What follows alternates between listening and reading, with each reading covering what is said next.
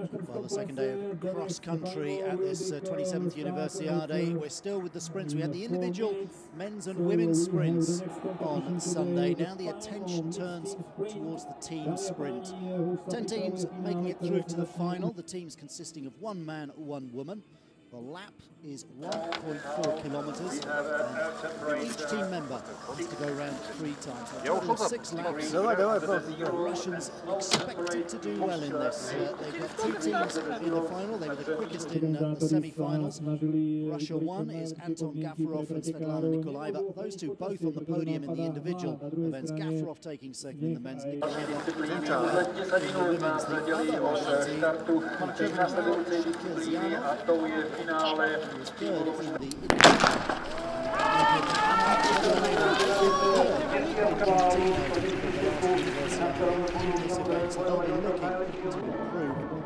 Keep an eye out also for the Czech Republic and Šrail Karolina Grohová, the third quickest practice.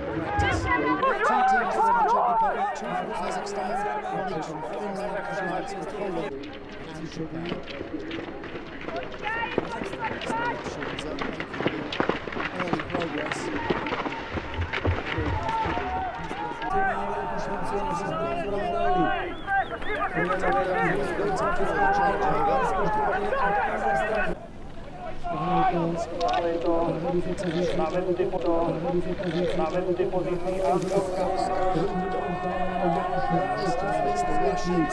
Dominating once again. They've outside the lines. And that's Shakirzianov. Alza Shakir gone outside the lines, given up three seconds the changeover. And that means Anna Povoliaeva is going to have to work exceedingly hard if she is going to win this one. She's going to bring a silver, but on the running, it's all for Russia with Nikolaeva taking it. Protože Kazachstanu na šestom místě Česká republika první a při závěrečných metroch prezentovala Karolínu Běhovou. Prezentovala Karolínu Běhovou. Prezentovala bez obrovským způsobem výborný čas. Vítězně za druhá. Na hranici jest walka, no.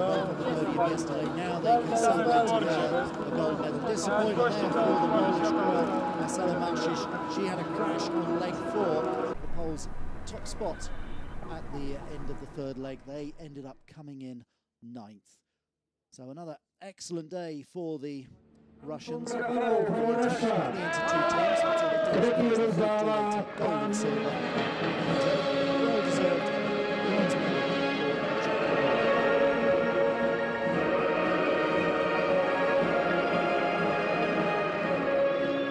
Congratulations! Dámy a pánové, tímto jsme zakončili trojdenní ceremoniál 27. univerziády na Trnskom plese pre Mixed Team Sprint. Ladies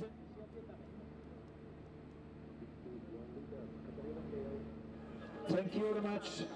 And the medal ceremony will begin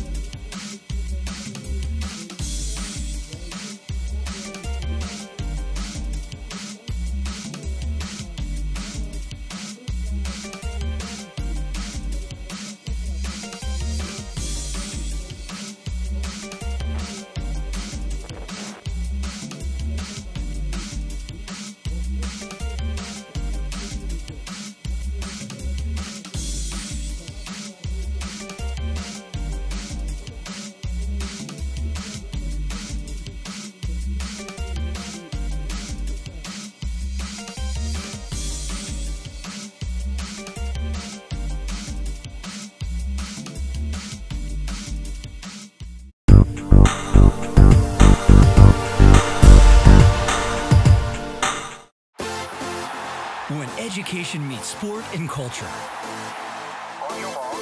What best promotes excellence in mind and body? Where do friendship, integrity, and achievement meet? Which event gathers the best student athletes from around the world? The Universiade, the home of international university sports. Today's stars, tomorrow's leaders.